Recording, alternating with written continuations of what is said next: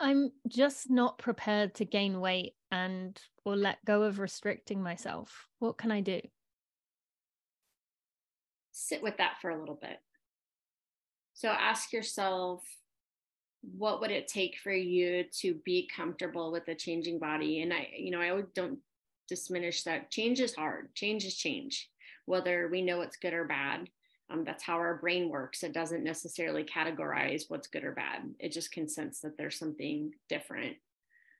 And then i always think about the messages that we get from our culture right? We're taught that you know thin idea is glamorized and that um, having the strict control over your body is a mark of health. When we've come to learn the exact opposite that a lot of times that disconnects us from our body and not listening to to what it needs and i think the more that you're able to express that that helps you start to process what it is that has you hung up on that what you might be potentially fearing.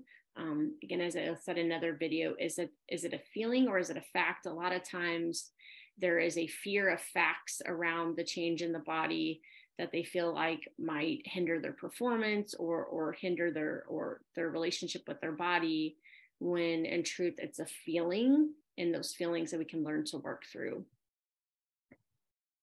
I remember feeling this way of kind of the the warning signs coming in that my relationship with my body was unhealthy and um knowing that i was uh, a train going to crash at some point but not being able to to get there. If you're aware of this is that even if you can't start to do it yourself is that a sign that start looking being curious about who maybe you would go see or, or what where you would start um, I think for me that's where it began. I started just digging a little bit, um, even though I knew I wasn't ready to to take the step. Uh, it was just the curiosity of of trying to rule things out. Absolutely, because curiosity again kind of keeps us connected. Sometimes we can have these thoughts and they're not really our own. They're just things that get kind of planted. And I, I would love that question Do I know this to be true? And if I don't, where could I possibly find that facts or what could I experiment with? Because, especially in the world of sport, everybody's an N equals one. We're always trying to kind of jump into um, knowledge and categories or following those that are very influential in sport.